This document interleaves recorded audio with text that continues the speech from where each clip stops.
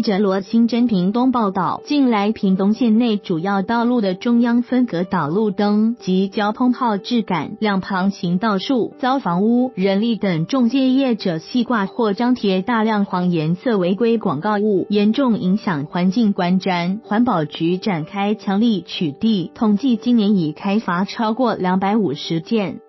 屏东县政府环保局长鲁台营表示，房屋新建案的大型广告物细挂情形已减少许多，但黄色小型塑胶板及纸板广告物却日益增加，尤其屏东市郊及各乡镇辖区更是泛滥。环保局已加强派员拍照采证，并告发处分罚还，且依法现场立即拆除。同时，请交通部公路总局第三区养护工程处及各乡镇市公所清洁队。对主动规划巡查告发取缔人力，以有效共同围堵违规广告物。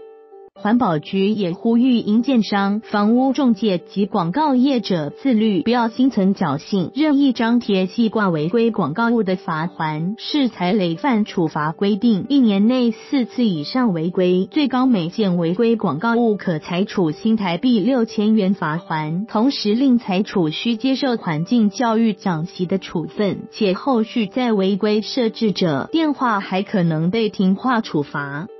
环保局统计，今年一月至九月才罚案件，总共处分罚款两百五十二件，金额累计五十万五千八百元；处分停话案件则有三百零八件之多。环保局也呼吁表示，民众若发现有任意张贴、系挂违规广告物，可就近向当地乡镇市公所反映举报。